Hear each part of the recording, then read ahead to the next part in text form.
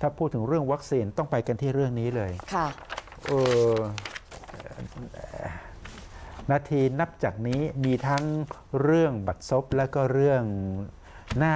ยินดีค่ะเอาเรื่องแย่ๆก่อนดีไหมได้ค่ะ เอาเรื่องแย่ๆก่อนนะอืมไปกันที่เพจที่ใช้ชื่อว่า เรื่องเล่าจากโรงหมอก็ค่ะบรรดาหมอนี่แหละอืมนะก็เชิญค่ะก็ก็อืม เอาขึ้นจอเลย Facebook เพจเรื่องเล่าจากโรงหมอ ทีนี้ทีนี้ทีนี้ เรื่องเล่าจากโรงหมอเนี่ยก็ก็ก็ก็ก็บอกว่าขนาดเนี้ยทางการทางกระทรวงสาธารณสุข ก็ได้เตรียมแนวทางเตรียมมาตรการ ในกรณีที่ที่ถ้าจะเอาไม่อยู่จริงๆอะนะมันล้นค่ะจริง ๆ ติดเชื้อก็เยอะจริง ๆ ในที่สุดมันก็ต้องงัดไม้ตายก็คือกักตัวที่บ้าน ต้องมีมาตรการ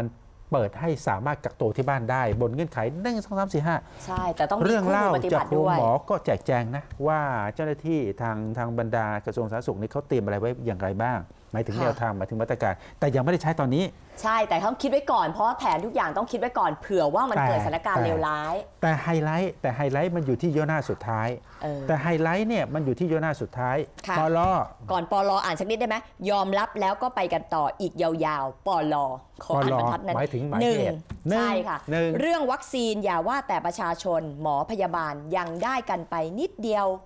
พวกไปประจำโรงพยาบาลสนามตอนนี้บางคนยังไม่ได้สิทธิ์ฉีดด้วยซ้ำอูน่าตกใจมากนะ ถือว่าเป็นกลุ่มเสี่ยงเลยนะ บนจอบนจอไม่ต้องดูท่อนบน บนจอดูท่อนล่างข้แล้วกันนะคะ เดี๋ยวให้เขาซูดูมข้างไปนะคะล่างตรงนะคปรับรนะครับค่ะ ตรงนะปครับรค่ะนะครับปรหนึ่งหนึ่งเรื่องวัคซีนอย่าว่าแต่ประชาชนเลย หมอพยาบาลยังได้กันไปนิดเดียว พวกที่ไปประจำโรงพยาบาลสนามถือว่ากลุ่มเสี่ยงนะ เพราะพวกนั้นเขาพบตรวจเชื้อ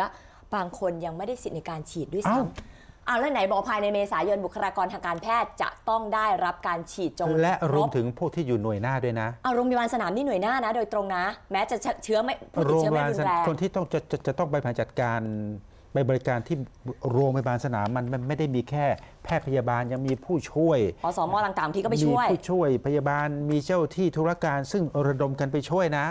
พวกนี้หน่วยหน้านะนี่ยังไม่แล้วได้พรับนักการงานที่ฉีดเก็บขยะหรือช่วยทำความสะอาดต่าง ๆ นี่ก็เสี่ยงพวกบรนะรดาแม่บ้านพวกเมดนี่ต้อนี่งได้ดูมอแลงเขานะได้มองกลุ่มนี้ไหมต้องบอกเลยว่าเสี่ยงมากนะแล้วแม่เก็บบ้านขยะมีเชื้อเมด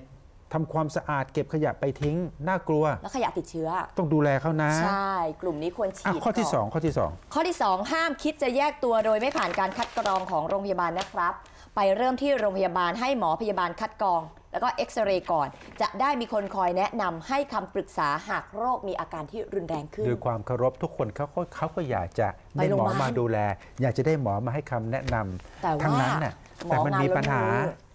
ก็อย่างเต็มที่คุณรวีให้สัมภาษณ์ในรายการตั้งแต่ตอนตอนตอนตอนตอนต้นๆไงค่ะ